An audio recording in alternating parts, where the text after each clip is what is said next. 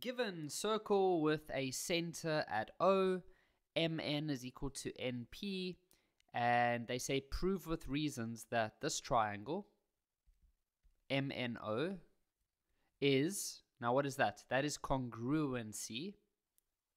And they want us to prove that it's congruent to PNO, so this triangle over here. Okay.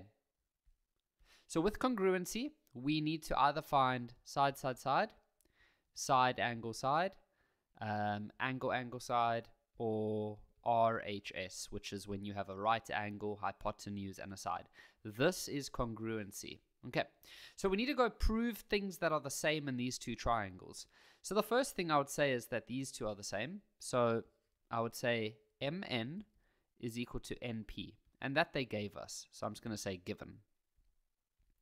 The next one, can you see that these two would have, this would have to be the same for both because both triangles are using that side.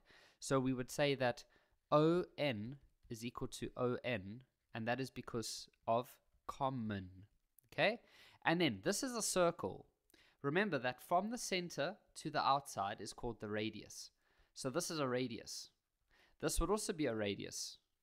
So radii, or the two, ra- if you have two radiuses in a circle, they are exactly the same length.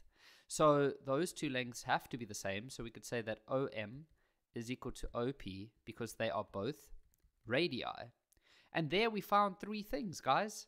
What was this? This was a side. What is this? This is a side. What is this? This is a side. We didn't use any angles in this question. And so therefore, we could say that triangle MNO is congruent to triangle PNO because of side, side, side.